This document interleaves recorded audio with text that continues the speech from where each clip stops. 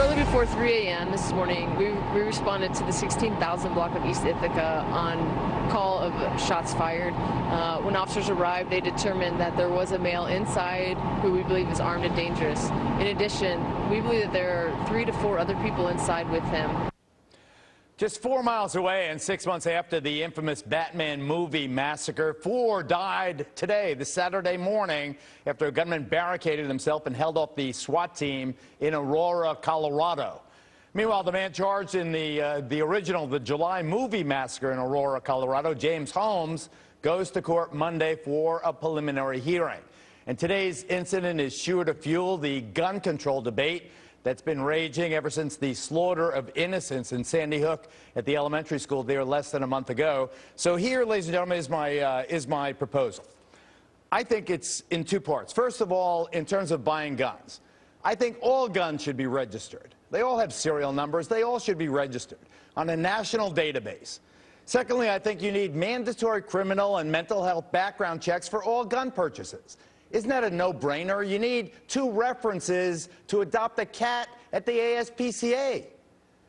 Include gun shows in that mandatory criminal and mental health background checks for everyone who buys a gun and mandatory reporting for all guns that are sold, destroyed, lost, or stolen. Part two, and here are the restrictions.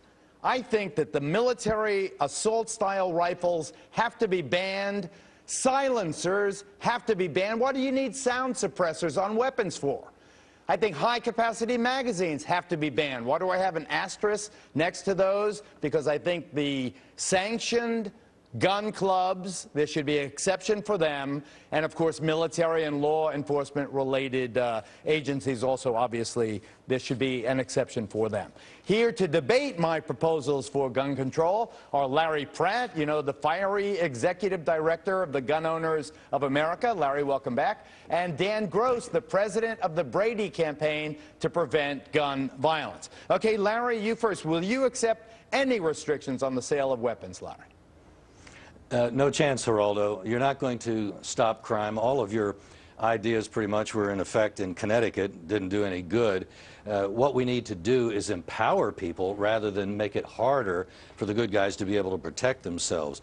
We were dealing in Connecticut with a situation that was a gun-free zone. And it's so sad that over the last 20 years, with all of the mass murders that have occurred, they've taken place in gun-free zones. You would think that we would start to reconsider. So, Larry, you're against any restrictions whatsoever. You don't want any restrictions on the weapons that are sold, period. Right. I, I think if uh, somebody wants to buy a semi-automatic with a large magazine, uh, that's a very good idea. The Co Korean merchants that defended themselves in the Watts riots, the uh, people that defended themselves after Katrina uh, around New Orleans. James Holmes, uh, Adam Lanza. Well, the problem was nobody in those venues, nobody else, Jared had a gun. they knew that they were they knew that they were going into a gun-free zone.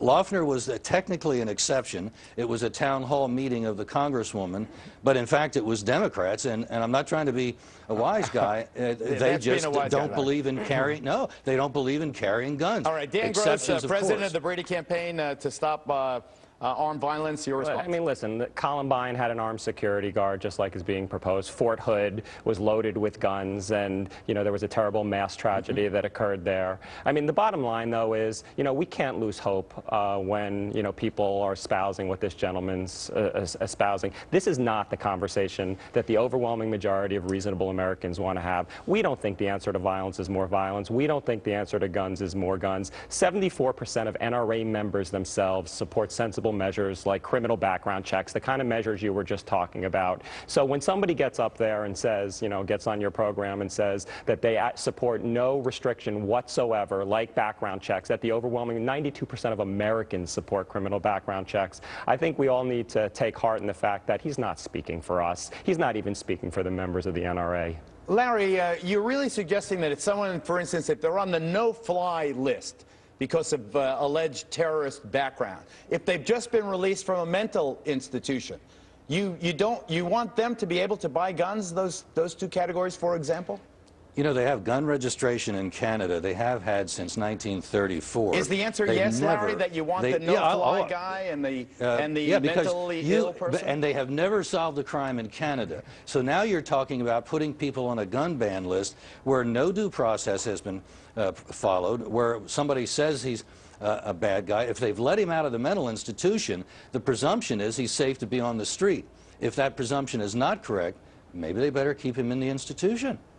All right, Larry Pratt, you stand by. Uh, Dan Gross, you stand by. We'll debate further, and then I'll make my decision on what to do about this baby. We'll be back after this. Don't go away.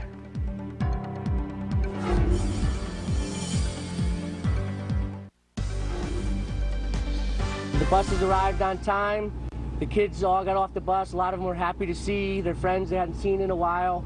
They're excited about the new school. The furniture from their classrooms, the, the things that are familiar to them, the things that were up on the wall, their, the work they had done that was posted on the bulletin boards, those things have been brought over.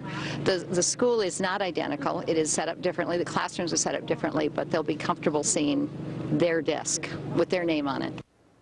As the survivors of the elementary school massacre head back to school, a different school, and by the way, I don't think the old school should ever be reoccupied. I think that as a, as a memorial for the children who were slain and the teacher and the teachers and the principal, they should level that, make it a memorial lawn, maybe a statue or something to remember the children. They should never try to reoccupy occupy that.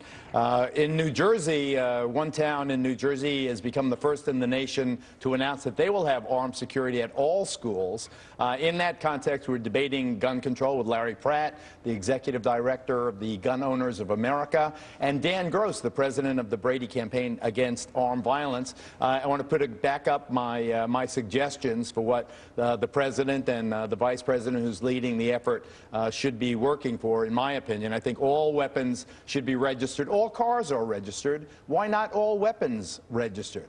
I think there should be mandatory criminal and mental health background checks for all gun purchases, including those at gun shows. Mandatory reporting for all guns sold, destroyed, lost, or stolen. And then on the ban side, I think the military assault rifles should be banned, uh, silencers banned, high capacity magazines banned, except for gun clubs who are sanctioned, uh, which are sanctioned, and uh, obviously the military and law enforcement. Larry Pratt, what's the uh, legal or practical use of a silencer? Why would you, you would be opposed to the banning of silencers? What, do you, what does a law-abiding person need a silencer on a weapon?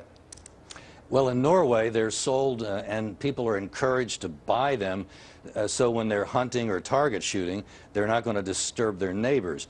They don't think about uh, firearms the way we do. They take them rather more as a, as a tool, something that they're going to be using, and the silencer is, has a very practical utility. It's not looked at as the criminal's friend. Okay, hold it right there, Larry. What about silencers? Dan Gross. Yeah, I mean, you have to question anything that's just made for the purpose of aiding and abetting the taking of human life. And, you know, things like a pistol grip on a weapon that allows you to fire multiple rounds from down low, a barrel shroud that prevents a barrel from getting excessively hot so you can still grip it and spray fire into a crowd, a silencer. I mean, these are, you know, that, that's the conversation the American public wants to have. And again, every time somebody like Larry Pratt talks, I just need to remind the American public not to lose hope that this guy is only speaking for a very small percentage of extremists out there. Uh, Larry Pratt, I'm not sure about the percentage, uh, though, Dan. I have to, have to mention that part. But Larry Pratt, let me. Uh, Yeah, most Americans believe in self-defense, and they'd be very Yeah, happy to self-defense have some of these firearms. I don't understand why people need multiple assault-style weapons. Why? I, I know guys that, that have a flying off the semi-automatic that can fire four shots in a second, one second. They're,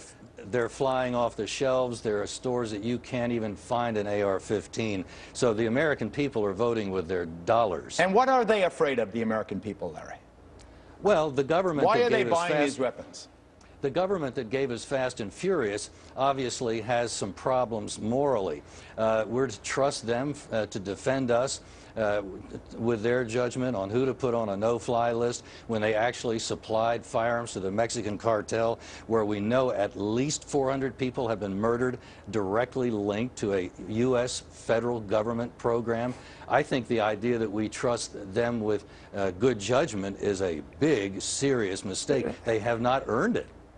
I mean, let's just go back to the basic question that he wouldn't answer before. You know, do you support background checks on gun sales to prevent the the mentally, um, the seriously ment- mentally ill, um, dangerously mentally ill people, criminals, domestic abusers from purchasing guns? You know, that's a question that they just won't answer because this is not about any one regulation. This is about an extremist agenda that wants to prevent any sensible measure that, no matter how demonstrably, it will save human lives. And that's, you know, fortunately, that's the conversation that the American public wants to have. I- Well, my I friend, I, I see that you're opposed to due process. You don't ever pause to say, well, go. yeah, we ought to have a trial, we ought to have evidentiary uh, proceedings, we ought to have adversarial procedures available so that if we're going to deprive somebody of a constitutional right, which I think can be done, then we have to go through the procedures. It's not a constitutional right. Do you support background checks on 100% of gun sales? the uh, Second Amendment is a constitutional right. No, do you right, do? my I know the Second Amendment is a constitutional support right. background but do you checks, support, Larry? Yeah. Do you support background checks? If you have people in a database that have been convicted of crimes, Yep. uh, violent crimes, uh, whether they were nuts or not, of course.